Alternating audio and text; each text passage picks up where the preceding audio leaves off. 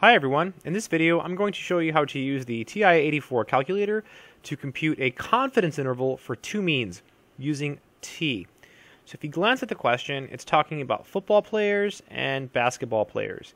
And they give you some numbers like the sample size, the sample mean.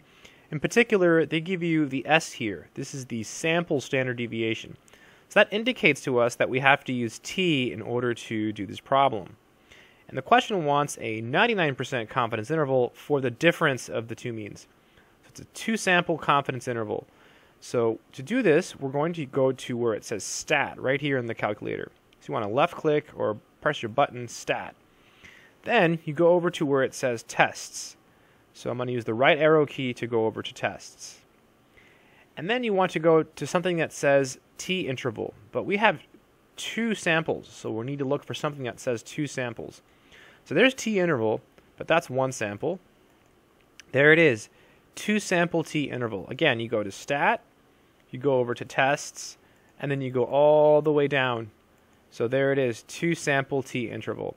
And again, you know to use t because they don't give you the population standard deviation. Nowhere does it say that. In fact, the symbol S represents the sample standard deviation. So whenever they give you that, you know you need to be using t. Okay, let's click enter and carefully enter all the information. So we have two choices. We have data and we have stats. So data is if you have like a list of numbers. Uh, we don't have that. We have a summary. So we go to stats. Then I'm going to press enter.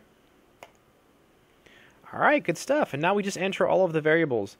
How convenient. In this problem, everything is labeled just like the calculator. So the x bar sub 1 is your first sample mean. So I'm going to go down and press 259.6. Looks okay. This here is your S sub 1, so that'll be 12.1.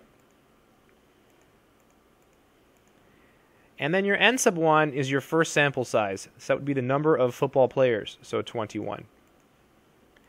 X bar sub 2 would be 205.8. Try to go a little bit faster. S sub 2 would be 12.9. And then N sub 2 uh, would be your 19 professional basketball players. So 19. Let's keep going down, see if it wants anything else. Oh, the confidence level. Absolutely. That needs to be 0.99 because that's 99%. Pooled. You want to leave this at no. Um, I, they always give you the option, but you definitely want to leave it at no. For, for most purposes, uh, like if you're doing homework or something for a class, just, just leave it at no. All right, let's click enter. Moment of truth.